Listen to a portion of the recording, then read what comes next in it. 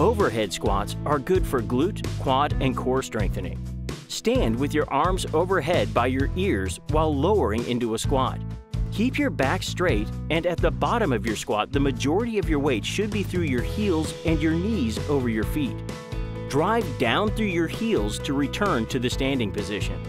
To ensure proper form and posture, you can hold a dowel with a wide grip directly over your head, arms over your shoulders while performing this exercise.